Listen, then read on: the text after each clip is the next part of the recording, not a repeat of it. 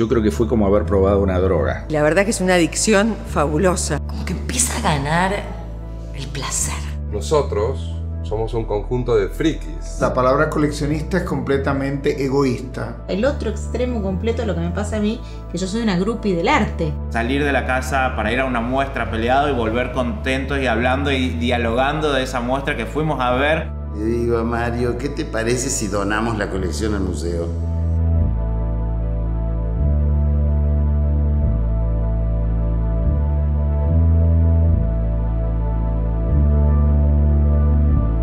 Todo coleccionista de alguna manera está expresando su necesidad de encontrarse en eso que lo, que lo moviliza. Más que un hobby es una pasión, es una, es una forma de vida. Porque el coleccionismo es un poco un TOC, ¿no? Un trastorno obsesivo compulsivo. El convivir con el arte me hizo mejor persona, punto. Yo me levanto y veo frente a mí obra que me gusta. Para otra cosa el arte no sirve.